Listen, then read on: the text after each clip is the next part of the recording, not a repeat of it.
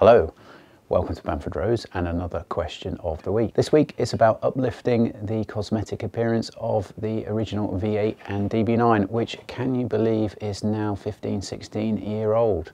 Uh, first DB9 was out in 2004, followed by the first V8 Vantage out in 2005. So when a car comes in for service, it's becoming increasingly popular that we get asked to uplift the cosmetic appearance a bit. As you all know, we are on-site body shop, so anything to do with paint correction, whether that be stone rashing or some minor accident damage, that's absolutely fine for us to correct. But this is more minor cosmetics, not ne necessarily associated with the body shop. Sorts of things we're talking about are the mesh grills to the front and rear bumper, the mesh grills to the side strake area on the front wings, the mesh and grill vents to the bonnet, wiper arm assemblies, the wing mirror mounting arms that attach to both doors, and on the inside it's the kick plates on the top of the sill as you get in the car, and the door handles themselves. Both of those areas do get quite age deteriorated. We've done this now to a few cars and it's a really nice touch on the interior.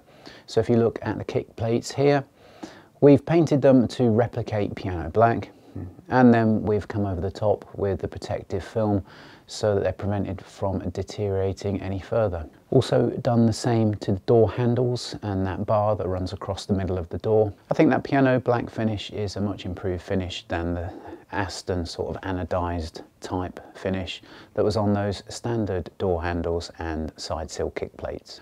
Most owners are going to already know that the paint easily flakes off the standard OEM mirror arm stalks.